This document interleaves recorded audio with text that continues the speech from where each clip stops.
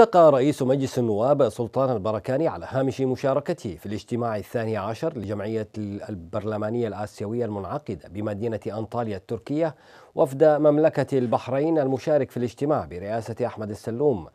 جرى خلال اللقاء مناقشة تطورات الأوضاع التي تشهدها المنطقة وجملة من المواضيع الهادفة إلى تعزيز علاقات التعاون في المجال البرلماني بين البلدين الشقيقين وتوحيد الجهود وتنسيق المواقف في المحافل الإقليمية والدولية حول مختلف القضايا التي تهم أو تهم البلدين والأمة العربية. وعبر البركاني عن شكره لمواقف مملكة البحرين الداعمة والمساندة للشعب اليمني ومشاركتها في التحالف العربي مشيدا بالعلاقة المتميزة بين البلدين. حضر اللقاء عضو مجلس النواب شوقي شمسان والقائم بأعمال السفارة اليمنية في تركيا مهدي العظامي.